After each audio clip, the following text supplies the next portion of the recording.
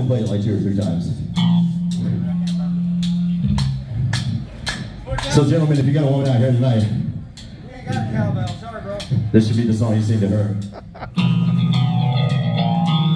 It's all about you.